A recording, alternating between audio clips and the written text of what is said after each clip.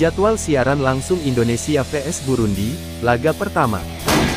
Indonesia vs Burundi Sabtu, tanggal 25 Maret tahun 2023 di Stadion Patriot pukul 20.30 waktu Indonesia Barat siaran langsung di Indosiar.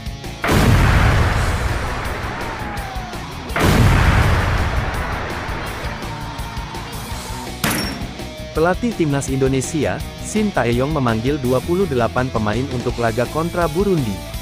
Timnas Indonesia saat ini berada di peringkat ke-151 dalam ranking FIFA, terpaut 10 tangga dari Burundi yang bercokol di posisi 141.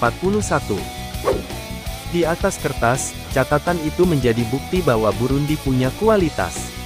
Burundi bukan negara yang bisa dianggap remeh oleh Indonesia.